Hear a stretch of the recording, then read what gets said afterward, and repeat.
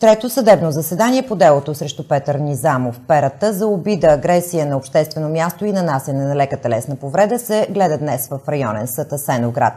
Той и защитникът му адвокат Иван Стоянов поискаха отвод на съда за това, че съдът е отхвърлил събраните от тях доказателства, които оневиняват подсъдимия. Още подробности вижте в материала.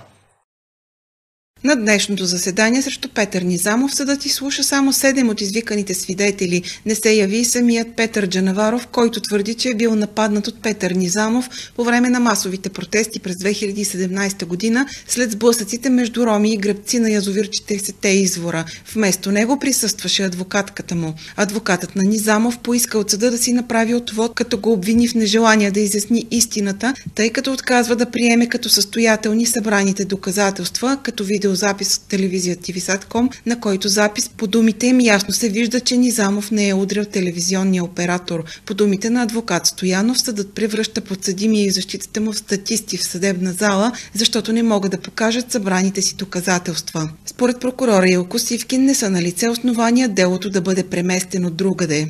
Доста съм разочарован от съда, защото ни отказаха абсолютно всички доказателства. Ние направо унищожаваме обвинителната теза.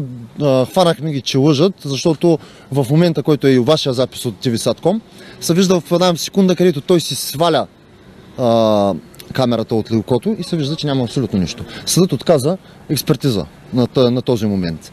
Съдът отказа да бъдат предявени записите на CVSATCOM на свидетелите Росен Цветков и Петър Джанваров, които първо казаха в досъдебното производство едно, в съдебната фаза казаха друго и освен това всичките им показания, тези от досъдебното производство и тези от съдебното производство, помежду си имаме четири различни вида показания. И аз не мога да разбера на какво, на какво основание искат да ме осъдят, след като ние направо унищожаваме, унищожаваме делото. Но аз за мен това е абсолютно поръчково дело и сега ще поискаме отвод на съда, тъй като за нас този съд е предобеден. Ви представяте ли си, съдята каза, че а, когато, като ви казах при малко, че нямаше рана, това било възможно след малко да му била потечала, потечала кръв. Все едно кръвта в тялото не е под налягане. Това е абсолютно смешно и просто търсят някакви основания да си изпълня една мръсна поръчка. А след това дело прокурор заминава за София, съдята за Бургас. Може да се направите сами изводите. На 18 април е насрочено следващото заседание по делото срещу Петър Низамов, перата, обвинен за обида, агресия на обществено място и нанасене на лека телесна повреда. Вчера в Асеноградския съд се гледа третото заседание по делото срещу Петър Низамов.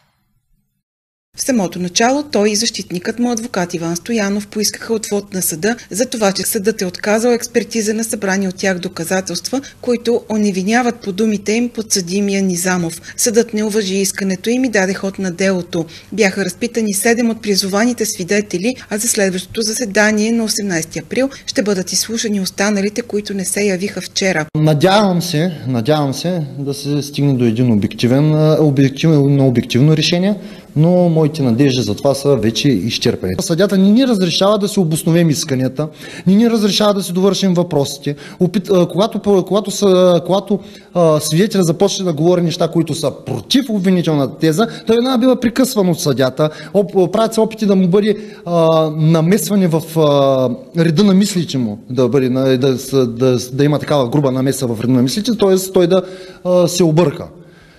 Това нещо е, аз мисля, че в това дело има двама прокурори и затова има една изключителна симбиоза между прокурор и съдя и аз мисля, че това няма да стигне до обективен, обективно съдебно решение. Надявам се, надявам се, наистина на справедливост. Аз не моля за милост, аз искам справедливост.